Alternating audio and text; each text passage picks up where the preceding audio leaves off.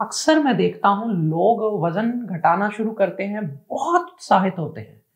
और थोड़े दिन तो निकलते हैं, थोड़े दिन के बाद वो कहीं बाहर जाते हैं, घूमने के लिए किसी मित्र के साथ, कहीं परिवार के साथ तो वहाँ उनको बाकी सब लोग जब वो देखते हैं नॉर्मल डाइट खा रहे हैं, सब चीज़ें आम जो खा रहे हैं तो वो थोड़ा सा उनके मन में आता है, लेकिन सोचा होता है मन में कि नहीं, अब मुझे पक्के रहना है। और जब आसपास के लोग खाना शुरू करते हैं, वो कहते हैं, भाई, तुम भी डालो। फिर उसकी थाली में वो जब परोसने लगते हैं, वो कहते हैं, नहीं, मेरा डाइट चल रही है, मैं वेट लॉस कर रहा हूँ, मैं हेल्दी डाइट पे फोकस हूँ, ये चीज़ें मैं नहीं लूँगा, बाज़ार का नहीं लूँगा। अरे अरे, कुछ नहीं होता, थोड़ा डालो ना। तो वो कहते नहीं नहीं प्लीज़ मैं नहीं लूँगा। अरे, कुछ नहीं होता, आप कल जाके थोड़ी ज़्यादा एक्सरसाइज कर लेना। लो, हम थोड़ा कम डाल देते हैं, सबसे कम आपको डालेंगे। तो इस तरह की तीन चार जब वो बातें करते हैं यानी यूँ कहें कि थोड़े बहुत एक्सक्यूज देते हैं जब उसको तो वो सामने वाले का व्यक्ति जो खुद कर रहा है इस एफर्ट को, जिसने हफ़्ता, दस दिन, पंद्रह दिन से मेहनत करी है, एक आध किलो घटा भी लिया है शायद तो उसको लगने लगता है कि भाई ये तो सही कह रहे हैं, जो कह रहे हैं आज कर लेता हूँ। तो बस वहीं से वो नीचे गिरता है।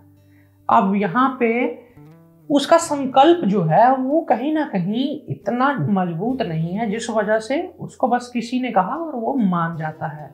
जब वो अंदर से और बाहर से एक हो जाएगा और उसे पता होगा कि मुझे पंद्रह दिन के लिए स्ट्रिक्ट रहना है, उसके बाद खुद मैं अपनी इच्छा से इतना लूँगा या ये चीज़ लूँगा और उसमें भी मुझे ये चीज़ हमेशा नहीं लेनी है, अगले कुछ हफ्तों तक, कुछ महीनों तक, इस तरह के कुछ संकल्प हों उसके, तभी वो आगे बढ़ पाता है।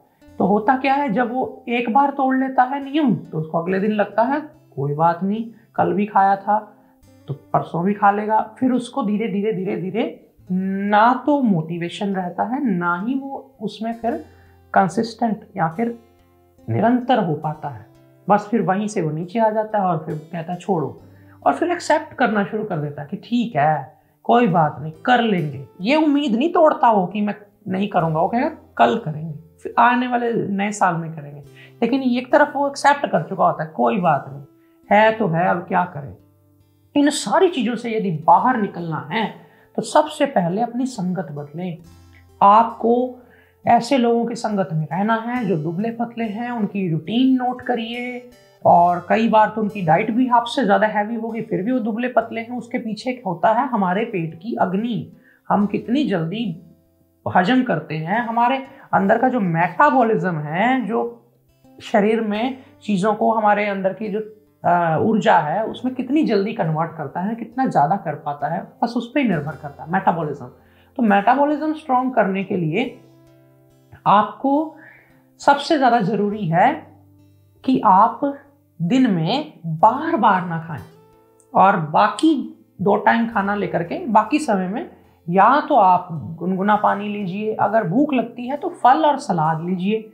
अनाज को जितनी बार आप मुँह में डालेंगे और वो पेट में जाएगा, उतनी बार पाचन ऊर्जा खर्च होगी, पाचन अग्नि खर्च होगी और वो उतना ही मेटाबॉलिज्म आपका और ज़्यादा स्लो कर सकती है। तो इसलिए एक ये नियम हो गया। दूसरी चीज़ है कि आपको समझ बढ़ानी है अपनी। जितनी समझ बढ़ाएँगे चीज़ के लिए कि मेरे को क्या करना है, कितना एफर्ट डालूँगा तो कितना रिज़ल्ट आएगा? और मुझे सही डायरेक्शन में सारी चीज़ों को एक साथ लेके चलना है, इसलिए आपको एक एक्सपर्ट की ज़रूरत होगी ज़्यादातर। और अगर आपको एक्सपर्ट मिल जाए तो आप जैसा लकी आप जैसा भाग्यशाली व्यक्ति कोई नहीं। और आप इसको हायर भी कर सकते हैं किसी न्यूट्रिशनिस्ट के पास जाएँ उससे न्यूट्रिशन की नॉलेज ले किसी वर्कआउट स्पेशलिस्ट के पास जाएँ उससे वर्कआउट की नॉलेज ले लें, किसी योग स्पेशलिस्ट के पास जाएँ उससे योग सीख लें।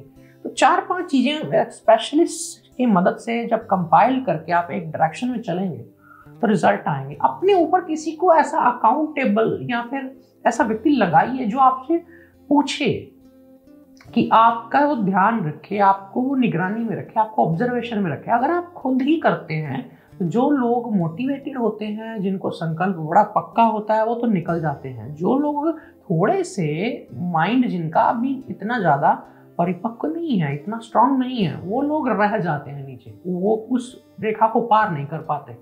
इसलिए आपको ऐसे व्यक्तियों को खासकर स्ट्रांगली एक चीज़ पकड़ लेनी है कि मुझे एटलीस्ट इस तीन तीन व्यक्तियों की गाइडेंस में तो रहना ही है। फिर जो वो कहेंगे, जितना कहेंगे, गलती अगर हो जाए तो जाके बतानी है, लेकिन थोड़ा सा रिस्पेक्टफुली उनकी बात को समझना है कि वैल्यू करना उनके वर्ड्स को, ये ना हो जाए कि उनको भी लगने लग जाए, ये नहीं सुधर सकता। थोड़ा सा आपको कट ऑफ़ करना पड़ेगा। बेशक सोसाइटी से आप वहाँ पे उनके इन्फ्लुएंस में आकर के, उनकी डाइट में ढलने की बजाय अपनी डाइट इतनी स्ट्रांग करिए, इतनी हेल्दी करिए और उसमें खुश आनंद ढूंढिए और उसमें आनंद नहीं मिल रहा तो उसमें कहीं रस डालिए। कलर्स अलग अलग सब्ज़ियाँ अलग अलग थोड़ा बहुत उसमें हल्का फुल्का अपने ढंग का चटपटापन भी लाइए। सात्विकता में बहुत कुछ भी है अभी भी। चटनियाँ अगर अगर दूसरी सॉसेज बहुत ज़्यादा वेट बढ़ाने वाली मार्केट की हैं तो आपकी घर की बनी हुई धनिया पुदीना की चटनियाँ भी हैं। अदरक की चटनी भी है। लहसुन की चटनी भी है। इसलिए आपको वो अपनी ऑप्शंस ढूंढनी है, तलाशनी इसी को बोलते हैं रिसर्च करके अपने लिए एक ऐसा फ़ूड का एक सर्कल बनाना आसपास की जिसमें आप खुश रहें। इतना चटपटापन आपको आए और आपको भूल जाए। थोड़ा अवॉइड करिए ऐसे लोगों के पास उठना बैठना, खाने के टाइम पे स्पेशली जो लोगों का खान पान आपको देख करके लगता है कि मैं तो बहुत वीक हूँ, मेरे को तो कुछ खाने को नहीं मिल रहा। लेकिन अच्छी ऑप्शंस में बहुत कुछ है। मिलट्स में जाइए, अपने आप ग्रेन्स जो अनाज है उनसे थोड़ा हटा के फल और सलाद सुबह के समय हो गए, शाम को सूप्स में चले जाइए, उसमें थोड़ा चटपटापन ले आइए। चटपटापन मैं नहीं कहता कि उसमें बहुत ज़्यादा आपने खट्टे डाल देने हैं और मीठा नमक सब डाल देना है।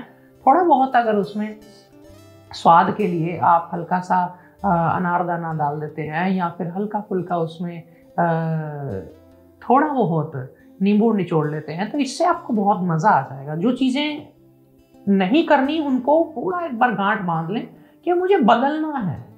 मुझे अब मैं अवॉइड नहीं कर रहा ये चीज़ें, मुझे अब बदलना है एक बार। जो व्यक्ति किसी आइकन को ठान लेता है मन में कि मुझे अब ऐसा बनना है एक बार तो फिर वो जल्दी पहुँच जाता है। जिसके पास कोई पिक्चर होती है, जिसके पास क्लैरिटी होती है, जिसके पास विजन होता है, जिसके पास कोई सामने कोई ब्लूप्रिंट है, जिसके पास कोई माइलस्टोन है, वो जल्दी पहुँचता है।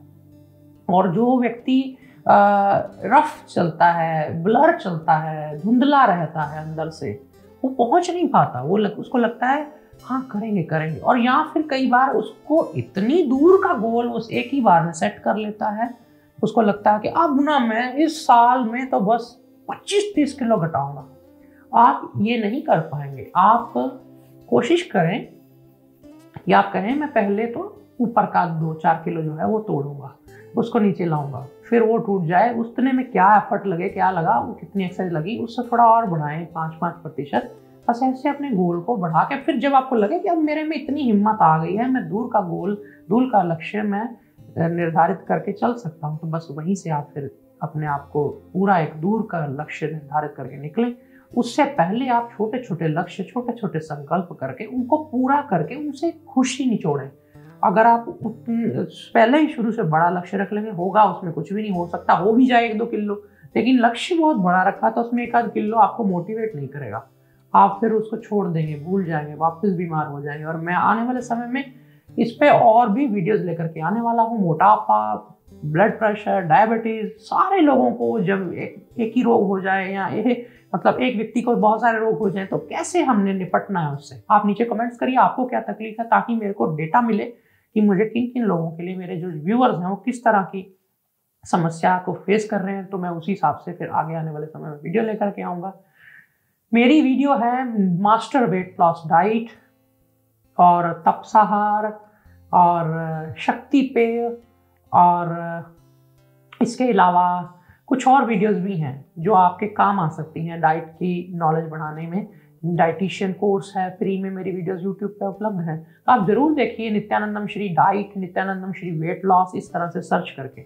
और अगर आपको मेरे आनंदम आयुर्वेद के बनाए हुए प्रोडक्ट्स नहीं पता इसके बारे में तो ज़रूर एक बार जाकर के www.sanskritivazar.com पर जाकर मेरे आनंदम आयुर्वेद नाम से जो ब्रांड है, उसके प्रोडक्ट्स आप एक बार ज़रूर आजमाएँ। आप घर में अपने आयुर्वेद को लेकर के आए, ऐसा आयुर्वेद जो दिखेगा कि हाँ ये है डीप चीज़ें ये हैं असली आयुर्वेद।